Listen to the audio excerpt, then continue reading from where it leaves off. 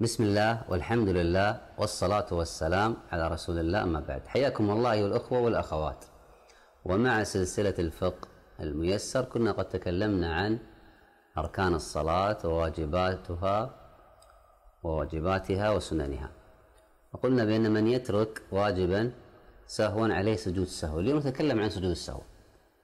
متى وكيف ولماذا نسجد للسهو السهو أيها الأخوة والأخوات سببه ثلاث أمور. إما زيادة وإما نقصان وإما شك. إذا زدت شيئا في الصلاة لابد أن تسجد للسهو. إذا نقصت شيئا في الصلاة لابد أن تسجد للسهو. إذا حصل شك لابد أن تسجد للسهو. فهذه هي أسباب أو أنواع سجود السهو واحد صلى صلاة العصر ثم في الركعة الرابعة قام إلى الركعة الخامسة. ثم تذكر نقول اجلس لأنك زدت في الصلاة وعليك أن تسجد سجدتي السهو. واحد صلى ثلاث ركعات وسلم. تذكر أنه صلى ثلاث نقص في الصلاة.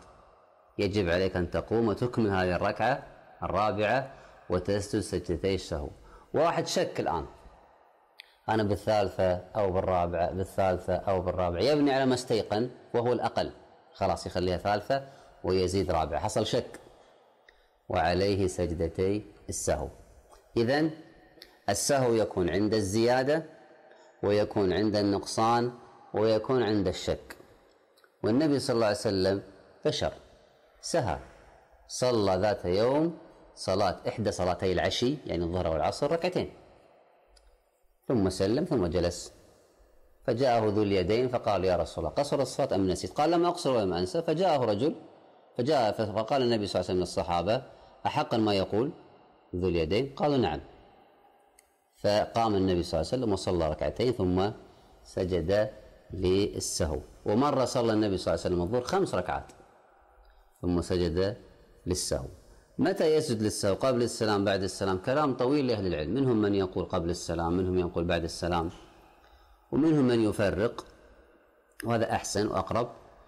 إذا كان عن نقص إذا نقصت في الصلاة اسجد للسهو قبل السلام.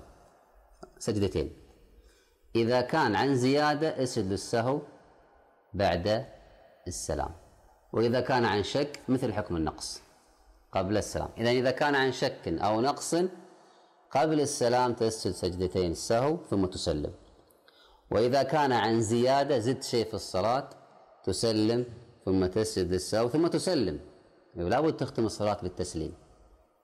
إذا قبل للنقص أو الشك بعد للزيادة. كيف سجدة السهو؟ سجدة سجدة سجدتا السهو اثنتان.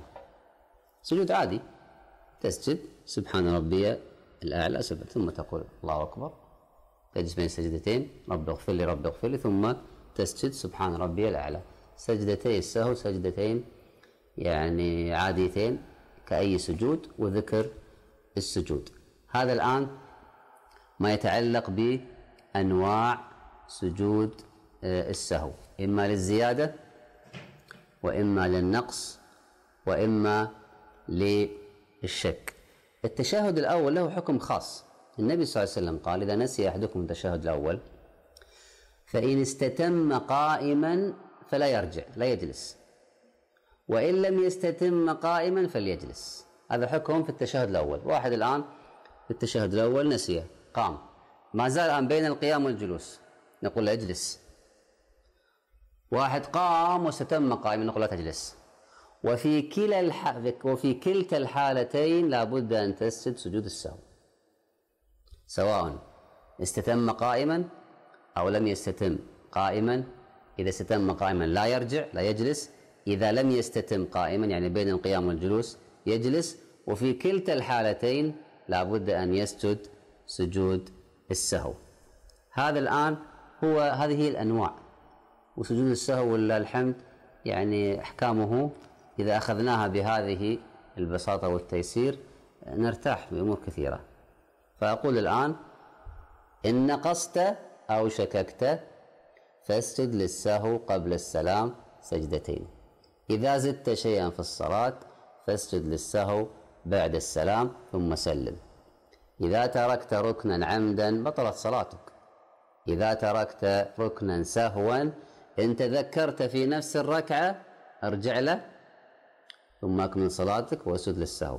إن تذكرته بعد هذه الركعة ألغي الركعة السابقة وابدأ بركعة جديدة أولى وأسجد للسهو. إن تركت واجبا عمدا بطلت الصلاة إن تركت واجبا سهوا عليك أن تسجد للسهو. متى تسجد للسهو؟ في في الشك والنقص قبل السلام وفي الزيادة بعد السلام. إذا حصل خطأ في الصلاة ينبغي أن تسبح تقول سبحان الله في الجماعة. وأما المرأة فتصفق هكذا وأما الرجل فيقول سبحان الله ينبه. نقطة أخيرة ينبغي للإمام إذا سهى أن يسجد قبل السلام مطلقا. ما نفصل قبل وبعد ليش؟ حتى ما يصح ما يحصل تشويش على المصلين المسبوقين. لأنه ممكن يسلم الإمام هذا يقوم الله أكبر. ثم الإمام يسجد للسهو يتورط الناس يجهل يجهلون الأحكام. والحمد لله الأمر في سعة فالنبي صلى الله عليه وسلم سجد قبل سجد بعد سواء في الزيادة أو النقص والأحاديث كلها بمجموعها تدل على أن الأمر في سعة سواء قبل السلام أو بعد السلام. أسأل الله سبحانه وتعالى أن يرزقني وإياكم العلم النافع والعمل الصالح إنه سميع مجيب والله أعلم وصلى الله على نبينا محمد.